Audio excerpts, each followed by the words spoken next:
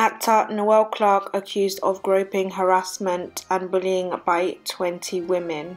Michaela Coel released a statement on Noel Clarke's sexual harassment allegation. Sky suspends filming on Bulletproof following Noel Clarke allegations of misconduct. Ashley Walters released a statement amidst Noel Clarke allegations. Old video resurfaces of Noel Clarke and people are calling out John Barrowman for his inappropriate behavior. Noel Clarke seeking professional help after sexual harassment allegation. Noel Clarke suspends from his own production company Unstoppable Film and Television.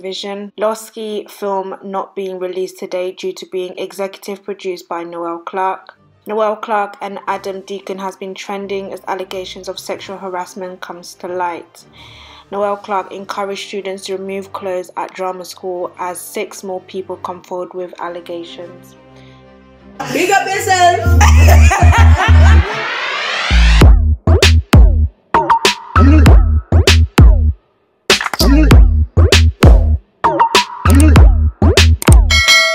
welcome back to another video. Thank you for tuning in. As you guys can already see we're going to be talking about noel clarke with all of the allegations. I'm pretty sure that you are aware of the story already but if you are not aware of the stories then i will fill you guys in. Let me know your thoughts in the comment section and thank you so much. If you are new feel free to subscribe. The police have confirmed that they have received a third party report relating to the allegations of sexual offences by a man following recent claims against actor Noel Clarke.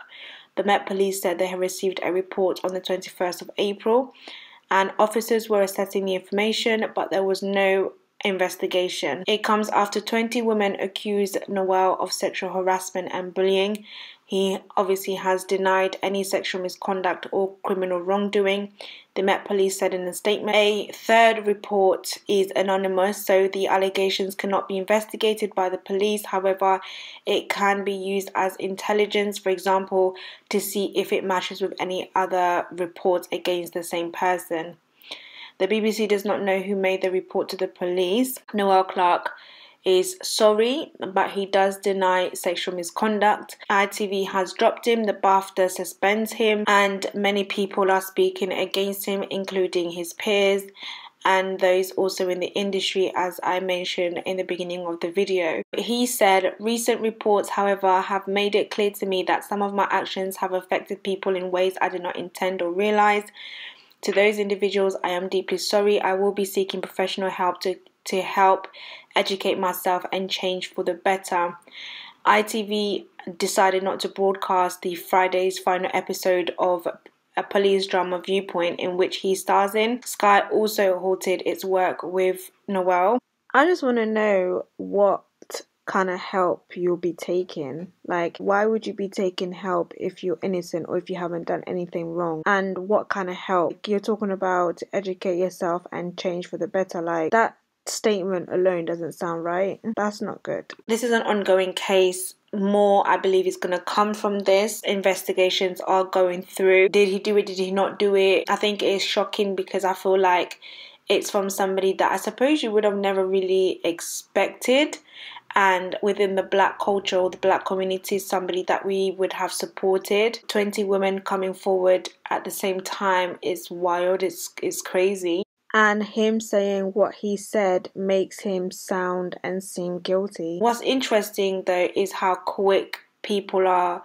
And when i talk about people i mean you know people like ashley and people that are his peers and in the industry quick to release their statement and stand with those women. I don't think that there's anything wrong with that, I suppose. I feel like with cancel culture and with previous cases that we've seen, maybe people have kind of learned from that and have decided to take stance as ASAP as soon as possible. Or maybe they know something that we don't know from his behavior on set, from his uh, conduct. Uh, from what they have maybe heard or experienced. I mean, at this point, he's he's looking pretty guilty, but I'm very cautious of condemning people and judging them as guilty without proving them to be guilty. Like, I still believe in this whole innocent until proven guilty.